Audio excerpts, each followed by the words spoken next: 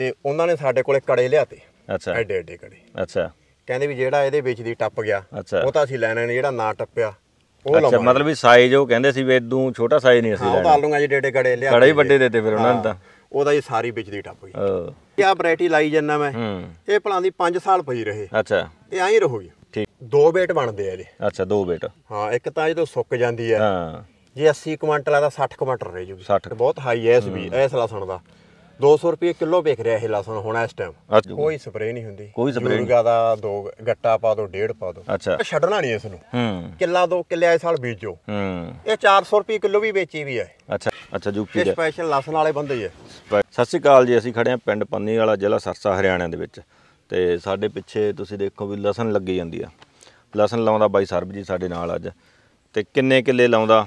ਕੀ ਇਹਦੇ ਵਿੱਚੋਂ ਝਾੜ ਆ ਕੀ ਇਹਦਾ ਮੁਨਾਫਾ ਕੀ ਇਹਦੇ ਖਰਚੇ ਆ ਕੀ ਇਹਦੀਆਂ ਮੁਸ਼ਕਲਾਂ ਕੀ ਦਿੱਕਤਾਂ। ਤੇ ਬਾਈ ਦੱਸ ਦਈਏ ਬਾਈ ਮੇਰੇ ਖਿਆਲ 'ਚ ਬਾਈ ਕਿੰਨੇ ਕਿੱਲੇ ਖੇਤੀ ਕਰਦੇ ਹੋ ਤੁਸੀਂ? ਮੈਂ 55 ਕਿੱਲਿਆਂ ਦੀ। 55 ਕਿੱਲੇ ਖੇਤੀ ਕਰਦੇ ਹੋ। ਐਂ ਜੇ ਨਹੀਂ ਲੱਗਦਾ ਵੀ 55 ਕਿੱਲੇ ਵੀ ਵੈਸੇ ਹੀ ਕੰਮ ਬਹੁਤ ਹੋ ਜਾਂਦਾ ਵੀ ਆ ਵਿੱਚ ਉਲਝਣ ਤਾਣੀ ਜੀ ਕਾਹਨੂੰ ਪਾਉਣੇ ਆ ਵੀ ਕੋਈ ਕੱਲਾ ਝੋਨਾ ਹੀ ਲਾ ਲਿਆ ਉਹੀ ਬਹੁਤ ਆ। ਇਹ ਬਦਲ ਬਦਲ ਹਾਂ ਬਦਲ ਕਰ ਰਹੇ ਠੀਕ ਆ। ਫਸਲ ਦਾ। ਜ਼ਿਆਦਾਤਰ ਸਹੀ ਗੱਲ ਆ ਵੀ ਕਈ ਵਾਰੀ ਛੋਟਾ ਜ਼ਿਮੀਂਦਾਰ ਵੀ ਬਦਲ ਕਰਨੀ ਭਾਜਦਾ ਤੇ ਨਾ ਜਾਣੀ ਮਾਰ ਪੈ ਜਾਣਾ ਉਹਨੂੰ ਔਖਾ ਹੋ ਜਾਂਦਾ। ਪਰ ਵੱਡੇ ਕਿਸਾਨ ਹੈਗਾ ਜਿਹੜੇ ਉਹ ਦੋ ਤਿੰਨ ਕਿੱਲਿਆਂ ਦੇ ਵਿੱਚ ਜੇ ਕੋਈ ਦਿੱਕਤ ਵੀ ਆ ਜਾਂਦੀ ਹੈ ਤਾਂ ਚੱਲ ਜਾਂਦਾ ਕਿਉਂਕਿ ਦੂਜੇ ਪਾਸੇ ਹੋ ਜਾਂਦਾਗਾ। ਬਈ ਕਿੰਨੇ ਟਾਈਮ ਤੋਂ ਖੇਤੀ ਕਰਦੇ ਹੋ ਤੁਸੀਂ? 1997 98 ਦੇ ਵਿੱਚ ਵੀ ਕੀਤੀ ਸੀ। ਹੂੰ।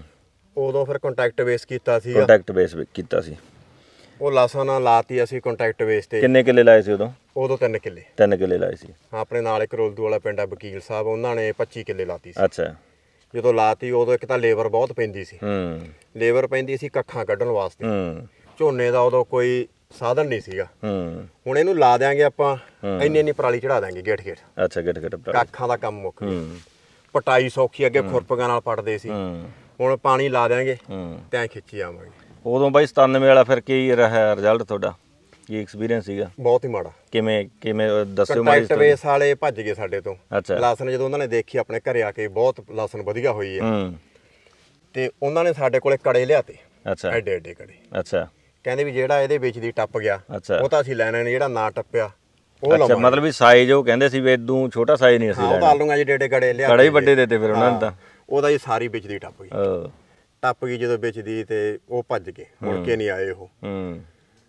ਤੇ ਉਹ ਤੋਂ ਬਾਅਦ ਕੀ ਕੀਤਾ ਸੀ ਉਹ ਲਸਣ ਦਿੱਲੀ ਵੇਚ ਕੇ ਆਏ। ਅੱਛਾ ਦਿੱਲੀ ਕੀ ਰੇਟ ਵਿਕੀ ਉਦੋਂ ਕੀ ਖਰਚਾ ਆਇਆ? 6-7 ਰੁਪਏ ਕਿਲੋ ਕੁਛ ਨਹੀਂ ਬਚਿਆ ਉਹਦੇ 'ਚ ਕੀ ਕਿੰਨਾ ਵਜਨ ਕਿੰਨਾ ਹੋਇਆ ਸੀ ਉਦੋਂ?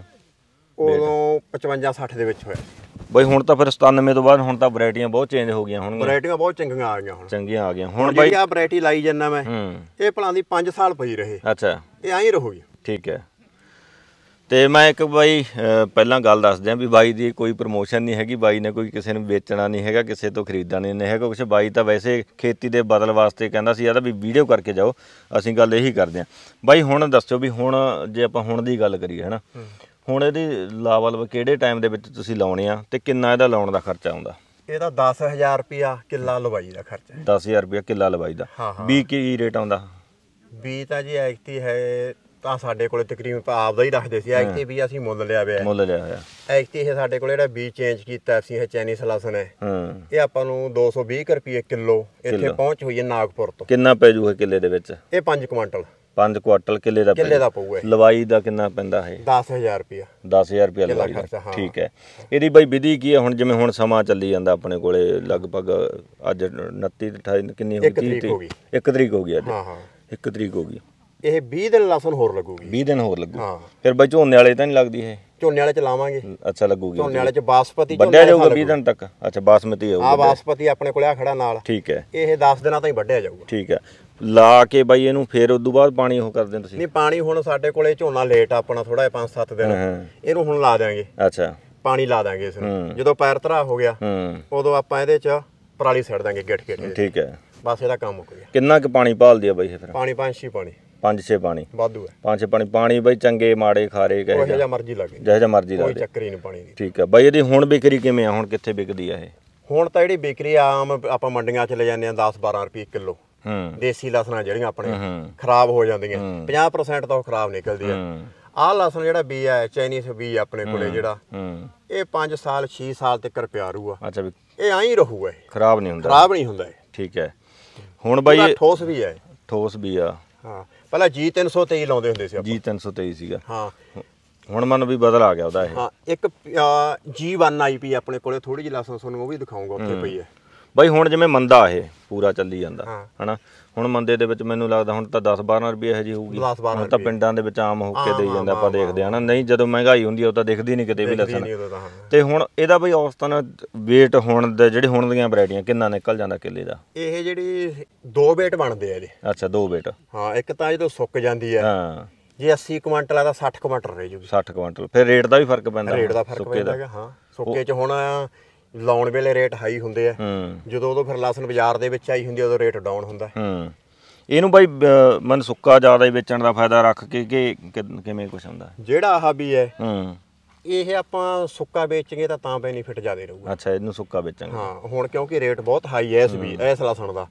200 ਰੁਪਏ ਕਿਲੋ ਵਿਕ ਰਿਹਾ ਇਹ ਲਸਣ ਹੁਣ ਇਸ ਟਾਈਮ ਅੱਛਾ ਹੁਣ। ਹੁਣ ਇਸ ਟਾਈਮ ਵੀ ਜਾਂਦਾ। ਬੀ ਦਾ ਬੀ ਦਾ ਕਰ ਬੀ ਵਾਲਾ ਵਿਕਦਾ ਹਨਾ। ਅਗਰ ਆਪਾਂ ਆਪਾਂ ਇਹਨੂੰ ਮੰਡੀ ਦੇ ਵਿੱਚ ਵੀ ਦੇਖਾਂਗੇ ਕਿਸੇ ਰੇੜੀ ਤੇ ਪਈ ਵੀ ਇਹ ਲਸਣ ਤੁਹਾਨੂੰ 250 ਤੋਂ ਘੱਟ ਰੇੜੀ ਵਾਲਾ ਇਹ ਲਸਣ ਦਿੰਦਾ ਨਹੀਂ।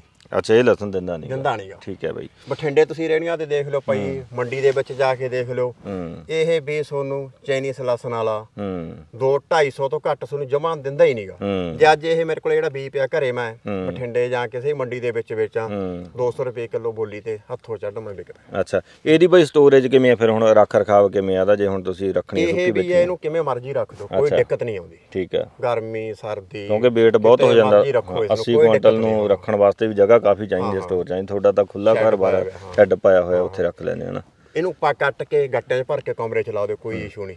ਜੇ ਦੂਜੀ ਲਸਣ ਨੂੰ ਆਪਾਂ ਚਾਂਦਨੀ ਮਾਰ ਜਾਂਦੀ ਹੈ ਬਾਹਰ ਪਈ ਹੈ ਹੂੰ। ਉਹ ਖਤਮ ਹੋ ਜਾਂਦੀ ਪੂਰੀ ਹੋ ਜਾਂਦੀ। ਨਿਕਲਦਾ ਨਹੀਂ ਵਿੱਚੋਂ ਕੁਝ ਉਹਦੇ ਨਿਕਲਦਾ ਕੁਛ ਨਹੀਂ। ਉਹ ਤਾਂ ਆਮ ਵੀ ਦੇਖਿਆ ਵੀ ਛੱਟੀ ਪਈ ਹੁੰਦੀ ਹੈ ਨਾ ਆਪਣੇ ਪਿੰਡਾਂ ਦੇ ਗਲੀਆਂ ਨਾਲੀਆਂ ਦੇ ਵਿੱਚ। ਤੇ ਹੁਣ ਬਾਈ ਇਹਦਾ ਫਿਰ ਕਿੰਨੇ ਟਾਈਮ ਦੀ ਖੇਤੀ ਹੋਊਗੀ ਹੁਣ ਤੋਂ ਲਾ ਕੇ ਇਹ? ਇਹ ਕਿਹੜੇ ਮਹੀਨੇ ਚ? ਮਾਰਚ ਦੇ ਵਿੱਚ ਪੱਟੀ ਜਾਊ। ਮਾਰਚ ਦੇ ਵਿੱਚ ਪੱਟੀ ਜਾਊ। ਹਾਂ। ਠੀਕ ਹੈ। ਤੇ 5-7 ਮਾਰਚ ਤੇ ਕਰੇ ਨੂੰ ਪੱਟ ਦਾਂਗੇ ਹੋਰ ਬਾਈ ਕੀ ਕੀ ਤੁਸੀਂ ਦੱਸੋਗੇ ਵੀ ਇਹਦੇ ਵਿੱਚ ਮੁਸ਼ਕਲਾਂ ਝੋਨੇ ਨਾਲੋਂ ਤੁਹਾਨੂੰ ਕਿੰਨੀ ਕੁ ਉਹ ਲੱਗਦੀ ਆ? ਦਿੱਕਤ ਝੋਨੇ ਨਾਲੋਂ ਦਿੱਕਤ ਤਾਂ ਇਹਦੀ ਇਹੀ ਹੈ ਵੀ ਵੇਚਣ ਤੇ ਕਈ ਵਾਰੀ ਪ੍ਰੋਬਲਮ ਆਊਗੀ ਪਰ ਇਸ ਵੀ ਦੀ ਪ੍ਰੋਬਲਮ ਨਹੀਂ ਆਊਗੀ ਇਸ ਵੀ ਦੀ ਪ੍ਰੋਬਲਮ ਨਹੀਂ ਆਉਂਦੀ। ਹਾਂ। ਬਾਕੀ ਉਹਦੇ ਨਾਲ ਤੁਸੀਂ ਦੱਸਤਾ ਵੀ ਸਾਡੇ ਕੋਲੇ ਚਾਈਨੀਸ ਲਸਣ ਹੈ ਇੱਕ ਦੂਜੇ ਦੇ ਉੱਤੋਂ ਦੀ ਹੋ ਕੇ ਲੈ ਜਾਣਗੇ ਆਪਾਂ। ਇਹਦੇ ਵਿੱਚ ਬਾਈ ਕੋਈ ਖਾਦ ਸਪਰੇਅ ਯੂਰੀਆ ਵਗੈਰਾ ਜੋ ਕੋਈ ਸਪਰੇਅ ਨਹੀਂ ਹੁੰਦੀ। ਕੋਈ ਨਹੀਂ। ਯੂਰੀਆ ਦਾ ਦੋ ਗੱਟਾ ਪਾ ਦੋ ਡੇਢ ਪਾ ਦੋ। ਅੱਛਾ। ਅਖੀਰ ਦੋ ਗੱਟੇ ਕਿੱਲੇ ਅੱਛਾ। ਇੱਕ ਗੱਟਾ ਡੀਏਪੀ ਦਾ। ਕੋਈ ਸਪਰੇਅ ਸਪਰੂ ਦੀ ਲੋੜ ਨਾ ਨਹੀਂ? ਨਾ ਕਾਸੇ ਦੀ ਲੋੜ ਨਹੀਂ ਡੱਕਾ ਵੀ ਜਾਣਾ ਠੀਕ ਆ। ਹੁਣ ਤਾਂ ਚਲੋ ਅੱਗੇ ਆਪਣਾ ਕਣਕ ਦਾ ਸੀਜ਼ਨ ਆਉਣਾ ਸੌਰੀ ਮੈਂ ਝੋਨਾ ਕਹਿ ਗਿਆ ਸੀਗਾ ਵੀ ਕਣਕ ਦੇ ਨਾਲ ਨਾਲ ਆਪਾਂ ਕਿਉਂਕਿ ਹੁਣ ਲੱਗ ਰਹੀ ਹੈ ਤਾਂ ਆਪਾਂ ਝੋ ਕਣਕ ਨਾਲ ਹੀ ਕੰਪੇਅਰ ਕਰਾਂਗੇ। ਹਾਂ ਹਾਂ ਹਾਂ ਕਣਕ ਦੇ ਮੁਕਾਬਲੇ। ਕਣਕ ਹੁਣ ਕਿੰਨੇ ਦੀ ਹੁੰਦੀ ਹੈ ਤੇ ਇਹ ਕਿੰਨੇ ਦੀ ਜੇ ਤੁਹਾਨੂੰ ਵਾਲਾ ਸਿਸਟਮ ਹੈ। ਹਾਂ। ਇਹਨੂੰ ਆਪਾਂ ਛੱਡਣਾ ਨਹੀਂ ਇਸ ਨੂੰ। ਹੂੰ। ਕਿੱਲਾ ਦੋ ਕਿੱਲੇ ਆਏ ਸਾਲ ਬੀਜੋ। ਹੂੰ। ਇਹ 400 ਰੁਪਏ ਕਿਲੋ ਵੀ ਵੇਚੀ ਵੀ ਹੈ। ਅੱਛਾ। ਹਾਂ। 400 ਰੁਪਏ ਕਿਲੋ। ਹਾਂ। ਤੇ ਮੰਦੇ ਤੋਂ ਮੰਦਾ ਕਿੰਨਾ ਮੰਦਾ ਤਾਂ ਤੋਂ 97 ਮੰਦਾ ਵਾਲਾ ਜੇ 40 ਰੁਪਏ ਵਿਕੂ ਤਾਂ ਵੀ ਤੁਹਾਨੂੰ ਬਹੁਤ ਹੈਗੀ 40 ਰੁਪਏ ਠੀਕ ਹਾਂ ਆ ਕਣਕ ਝੋਨੇ ਨਾਲੋਂ ਫੇਰ ਵੀ ਚੰਗੀ ਰਹੂਗੀ। ਹੂੰ। ਆ ਮੈਂ ਵਿਹਲਾ ਰੱਖਿਆ ਸੀ ਬਾਣ ਝੋਨਾ ਨਹੀਂ ਲਾਇਆ ਸੀ ਮੈਂ ਇੱਥੇ। ਹੂੰ। ਮੈਂ ਵੀ ਝੋਨਾ ਨਹੀਂ ਲਾਉਂਦੇ ਕਿੱਲ- ਦੋ ਕਿੱਲੇ ਥਾਂ ਵਿਹਲਾ ਛੱਡ ਦੋ। ਹੂੰ। ਤੇ ਹੁਣ ਆ ਝੋਨੇ ਵਾਲੇ ਚ ਵੀ ਕਿੱਲਾ ਥਾਂ ਆਪਾਂ ਲਾਵਾਂਗੇ। ਚਲੋ। ਕੀ ਦਿਖਾਉਣਾ ਤੁਹਾਨੂੰ ਮੈਂ ਹਾਂ ਆਪਣੇ ਉਧਰ ਚੱਲਦੇ ਆਪਾਂ ਹੈ। ਨਾਲ ਨਾਲ ਦਿਖਾਉਨੇ ਆ ਹਾਂ। ਆ ਜਾਓ ਬਾਈ ਵੀ ਬਾਰੇ ਵੀ ਦੱਸੋ। ਇਹ ਬਾਈ ਬੰਦੇ ਕਿੱਥੋਂ ਆਏ ਹੋਏ ਲਾਉਣ ਵਾਲੇ? ਇਹ ਯੂਪੀ ਦੇ ਅੱਛਾ ਯੂਪੀ ਦੇ ਸਪੈਸ਼ਲ ਲਸਣ ਵਾਲੇ ਬੰਦੇ ਆ ਸਪੈਸ਼ਲ ਲਸਣ ਵਾਲੇ ਆ। ਇਹ ਆਪਾਂ ਤਾਂ ਐ ਨੂੰ ਹਟਦੇ ਆ। ਹਾਂ। ਇਹ ਉੱਤੋਂ ਦੀ ਚੜ ਕੇ ਲਾਉਂਦੇ ਆ ਅੱਛਾ ਉਹਦੀ ਚੜ ਕੇ ਲਾਉਂਦੇ ਆ। ਮੈਂ ਵੀ ਦੇਖਿਆ ਮੈਂ ਕਿਹਾ ਉਹ ਗੰਡੀਆਂ ਸਿੱਟੀਆਂ ਪਈਆਂ ਮੈਂ ਕਿਹਾ ਇਹ ਕਿਤੇ ਖਲਿਆਰ ਲੈਂਦੇ ਨਾ ਗੰਢੀਆਂ ਨੂੰ। ਮੈਂ ਕਿਹਾ ਕਿਤੇ ਸਾਫ਼ ਤੇ ਉਵੇਂ ਕਰੀ ਲਾਉਣੇ ਆ। ਨਹੀਂ ਨਹੀਂ ਇਹ ਗੰਢੀਆਂ ਨੂੰ ਖਲਿਆਰ ਕਿੰਨੇ ਟਾਈਮ ਚ ਲਾ ਦੇਣਗੇ ਕਿੱਲਾ ਇਹ? ਤੁਸੀਂ ਹਿਸਾਬ ਲਾ ਲਓ ਸ਼ਾਮ ਤੱਕ ਨੇੜੇ ਲਾ ਦੇਣਗੇ। ਅੱਛਾ। ਸਵਾ ਕਿੱਲਾ ਸਵਾ ਕਿੱਲਾ ਥਾਂ। ਆ ਦੇਖੋ ਆ ਸਿੱਟ ਲੀਆਂ। ਭਣ ਭਣ ਕੇ ਇਹਨਾਂ ਨੇ ਹੂੰ ਲਾਈ ਜਾਣਗੇ ਇਹਨਾਂ ਨੇ ਅੱਛਾ ਨਾਲ ਦੀ ਨਾਲ ਇਹ ਭੰਨੀ ਜਾਣਗੇ ਹਾਂ ਹਾਂ ਹਾਂ।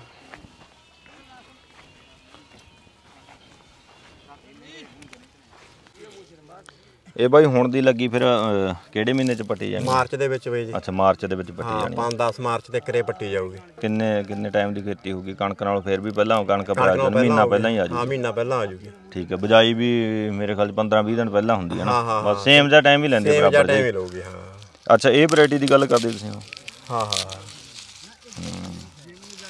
ਬਹੁਤ ਸੌਖੀ ਫੁੱਟਦੀ ਹੈ।